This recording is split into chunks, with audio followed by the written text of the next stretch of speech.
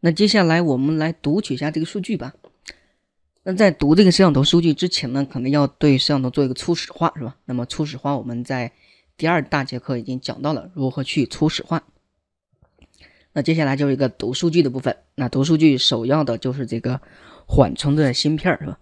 那对这个芯片呢，我们会有一本手册，对着这个手册我们会看到如何去读数据，如何去写数据。我从手册里边截取了一个实际图。那么首先我们来看这个写数据的过程。呃，这个写数据，首先你要明白我是从哪往哪写呢？那我所所谓这个写呢，是从七六七零啊，七六七零写到你的缓冲区，也是写到你的 FIFO 里边啊。这个叫写入数据。那我们看这个数据是这个 FIFO 如何给它写数据啊？这儿有个时序图，大家看这个时序图，首先是有一个 clock 然后是有个 WRST，这是个复位是吧？RST 是复位的意思，然后有个 WE，下面就是个数据传输过程。那这个时序其实非常的好看。我们刚才在那个硬件配置那儿已经看到了，在这个 WCK 呢，它是连到了七六七零的一个 clock 是吧？所以这个 clock 我们要不要考虑呢？不要考虑了是吧？它已经被连到其他地方了，不由你手动配置，所以这儿不用考虑了。那再往下考虑就是 WE 啊，WE 大家看这可能低电平有效是吧？这很明显低电平有效，然后 RST 呢是高电平有效，是吧？所以这个时序呢非常非常的简单。如果你想写一个数据呢，只要把 RST 拉高，把 WE 拉低，那么数据自然就可以写进去了。那这里边有需要注意的是，这个缓冲区呢，它的地方肯定是够大的啊，我忘了是三百多 K 啊，好像是，肯定是足够保存我们这么多个像素。那还有一个问题就是它写的时候啊，它的指针会自动加的，它会自增的啊。还有一个就是复位。那么一旦复位了，就地址归零了。这不是有个复位信号对吧？我们看到这个信号复位以后，重新拉高以后，大家看到归零了是吧？所以复位呢会导致地址归零。因此我们要注意的是，当我们第一次去写数据的时候，是不是要复位一下呢？我们要从零开始写对吧？复位完了以后呢，我要把它拉高是吧？然后把 W 拉低，那么这个样子呢，我们的数据就可以写进去。这是一个写数据的过程。那再往下，我们再看另外一个图，读啊。那么什么叫读数据呢？读从哪读到哪了？那对于这个货呢，读数据我们是从 FIFO 读到了我们的，相当于是液晶屏对吧？我们读出来要打在液晶屏上面，所以从 FIFO 读到这儿。那在读的时候，这 clock 肯定是要考虑的啊，因为这个 clock 是由我们手动来读的，是吧？那怎么做这个 clock？我想大家都会吧？把一个 I/O 口先拉高，再拉低，再拉高，再拉低，这样就产生一个 clock。然后再看这个 O 一，O 一是低电平有效是吧？啊，所以读的时候也非常的简单，我们把这个电频拉低了，然后产生一个 clock 就可以把数据读出来。当然读的时候呢，其实还有一个指针的复位啊，呃，上面有个写指针复位，读的时候有一个读指针复位。那读指针复位是什么意思呢？我们既然从零开始写的，是不是读也从零开始读对吧？那这个数据呢是从零对吧开始写，写到最后。那么读的时候也是从零开始读，只有这样呢才是一幅完整的图片。所以在读的时候也有一个读指针的复位过程。当然读数据的时候，你的读指针呢它会自动增加的。那所以对这个缓冲芯片呢，其实用的时候是非常非常的好用的，简单的不得了。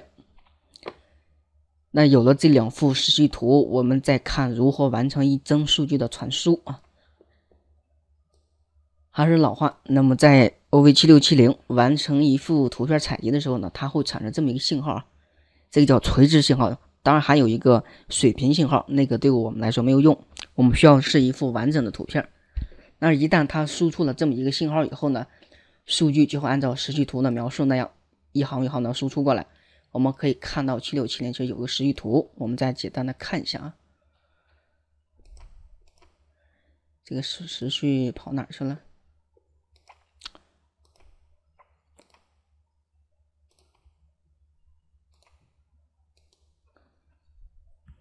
？OK，时序在这儿。我们看它输出的时候是不是有这么一个 clock，而这个 clock 正好连到了我们的缓冲区 clock，所以缓冲区的 clock 你没有必要考虑，对吧？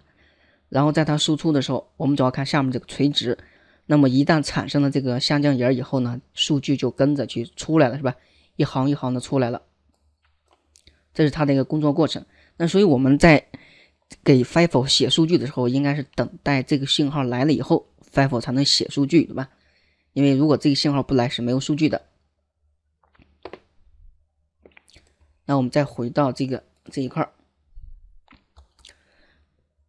当我们检测到这个信号以后呢，就会可以使用这个写的方法，对吧？让它可以开始写，那么数数据就可以传进去了。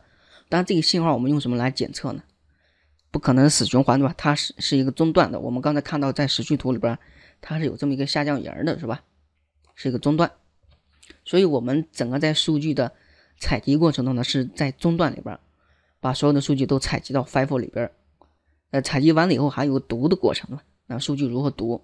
当一帧数据完全写入之后，你就可以读了，对吧？那你不能从中间开始读。那如果你从中间开始读，那是半个图片。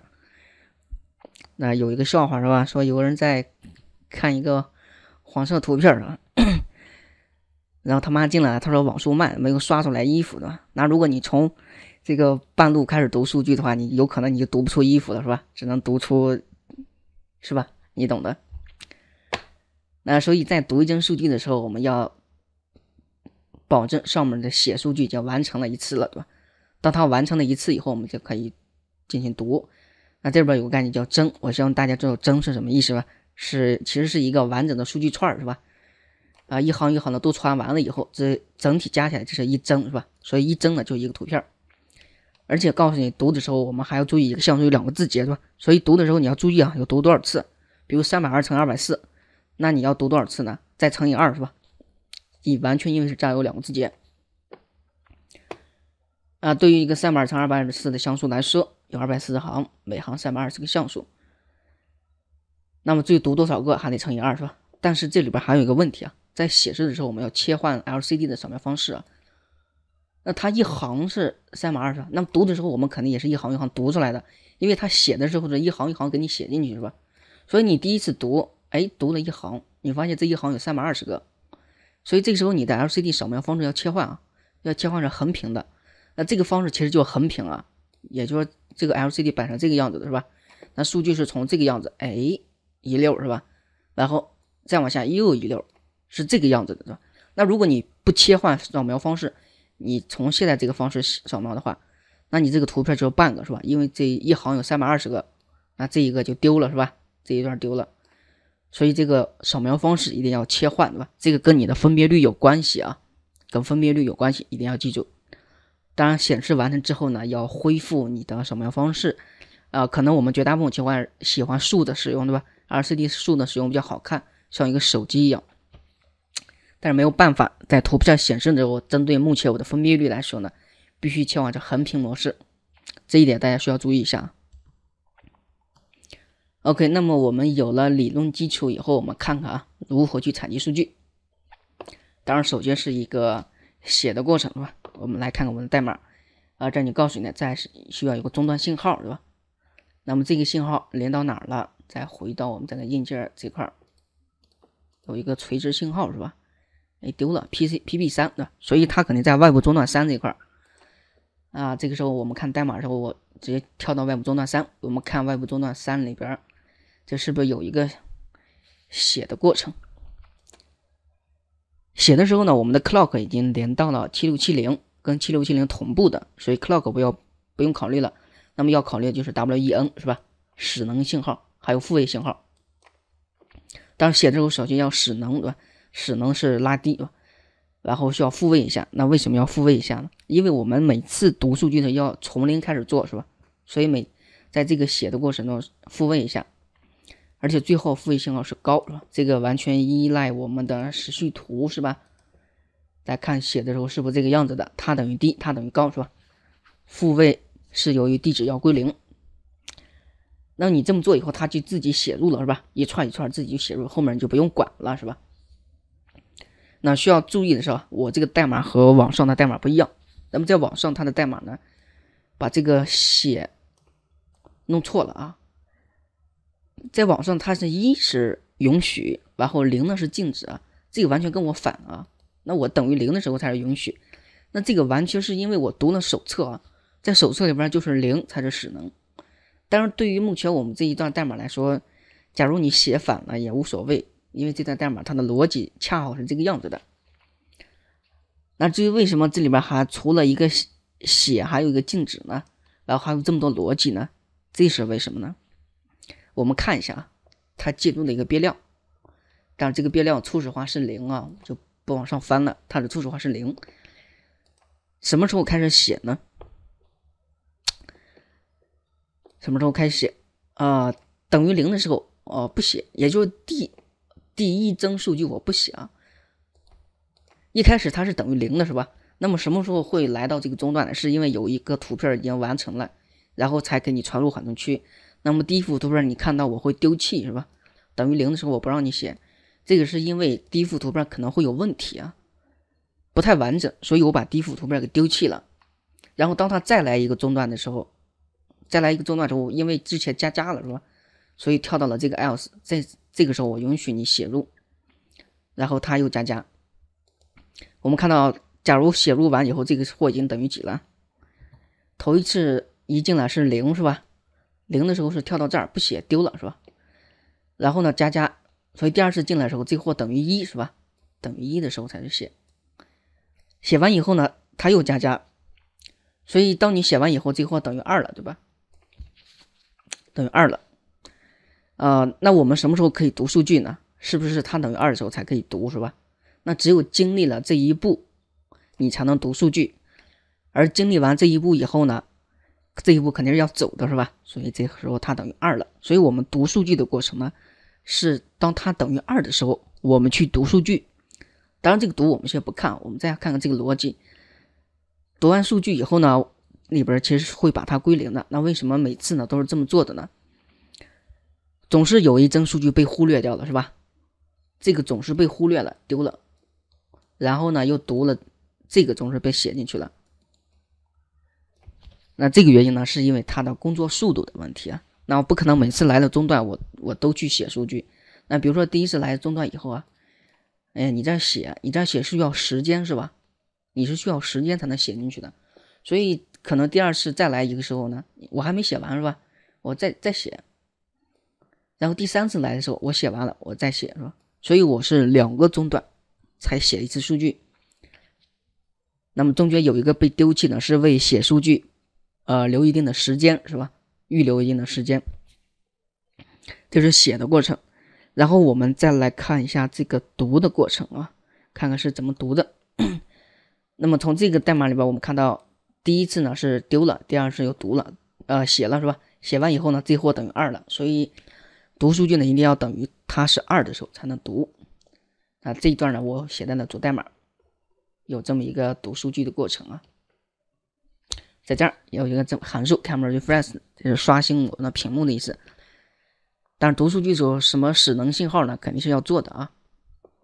你看我是不是等于这个或等于二的时候才读啊？那它等于零的时候你能不能读呢？不能，等于一的时候能不能读呢？也不能，等于二的时候我才读，因为这样是可以确保你读出一个完整的数据。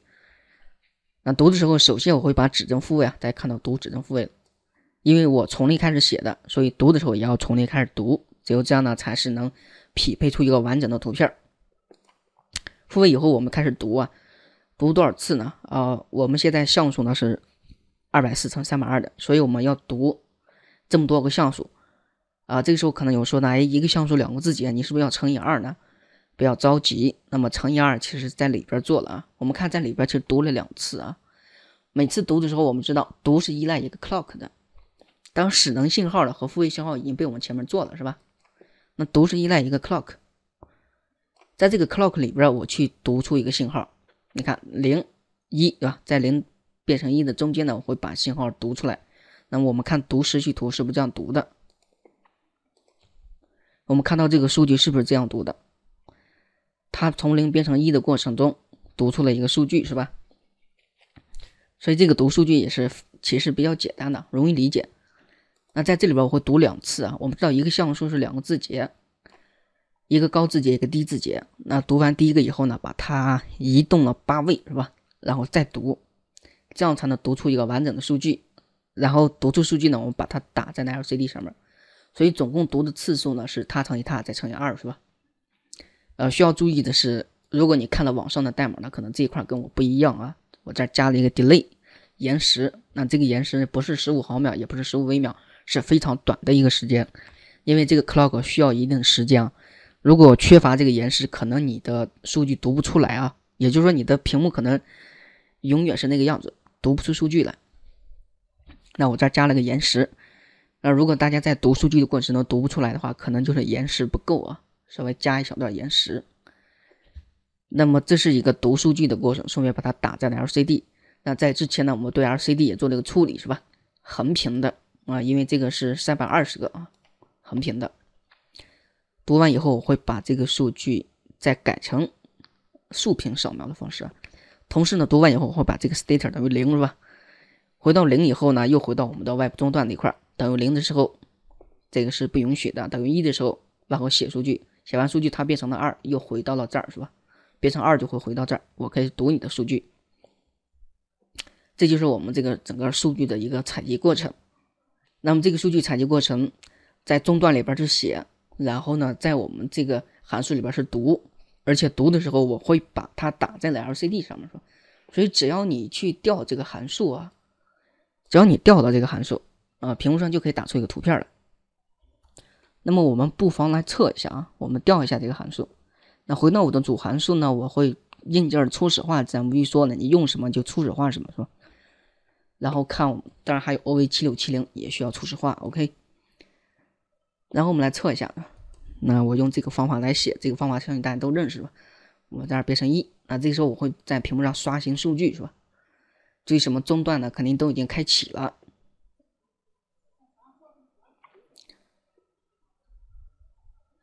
然后我们来验证一下，是吧？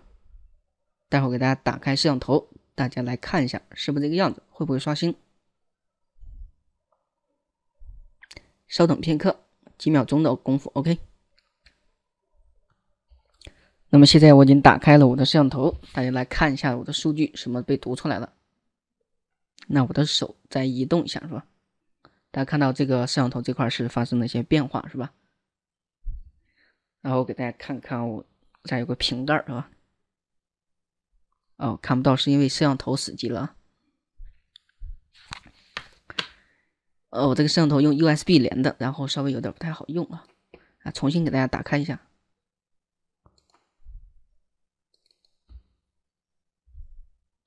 OK，又看到了我的手在动是吧？给你拿个瓶盖。然后大家在。用看的过程中可能会有些其他问题啊，呃，比如说这儿有些彩条，有一些特殊的颜色，这个是因为布线的问题啊。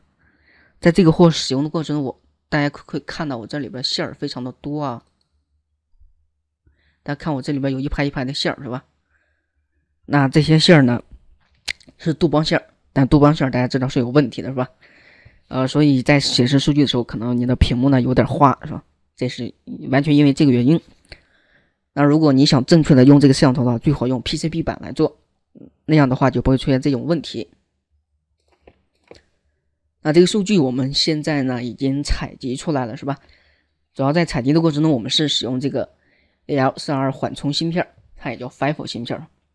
然后当它写数据的时候，因为它的 clock 已经被连到了7670，所以写数据比较简单，只要把 RST 还有 WE 做好了就 OK 了。记住写的时候要复位一下指针，从零开始写。读的时候需要自己做一个 clock，然后呢使能了它，最后把读指针也需要提前做一个复位，是吧？这样就读出了数据。然后写数据的过程呢是依赖于一个中断，是吧？来了一个中断以后才能完整的写一个数据。这是因为这个七六七零是一行一行输出的，是吧？最后一行输出完以后会产生一个中断，提示你数据 OK 了。在这个中断里面可以写一个数据，而且写数据的时候，我借助了一个外部变量，是吧？第一帧数据我会把它丢弃，然后第二帧再写，第三帧又丢弃了，第四帧再写。第一帧数据可能是有问题，把它丢弃了，而且呢，中间隔一下写一下，是因为为写数据保留一定的时间，是吧？那有的人会直接在中断里边不停的写数据，把上面这步去掉了，有的人是吧？不停的写数据，那这个时候可能你写的数据有些问题，因为我们的单片机多少速度了？一百六十八兆是吧？一百六十八兆，而这个货呢，O E 七六七零呢是多少数据了？二十四兆的，对吧？这么这么大一个速度，那所以为了让这个速度做一个匹配，还有 FIFO 芯片速度可能会更低一点。为了让速度匹配，那所以呢，我在这儿会丢丢失一些数据，然后读数据的过程呢，是在主函数直接写了一个 camera refresh 来把它读出来。读的时候需要注意，除了读出像素乘以二个字节，然后呢，我们还要把屏幕的扫描方式根据你的分辨率实际的切换一下。然后这个读数据的过程中呢，是这么读的啊。啊，因为一个像素是两个字节，所以我要把两个字节拼一下，拼出来以后，它是一个完整的像素。读的过程中，这个 clock 需要加一个延时。那有的代码可能没有延时，也许会有些问题啊。没有延时，你可以加一点延时啊。这个延时是小于微秒，是几十个纳秒级别的。这就是我们这个数据采集的过程。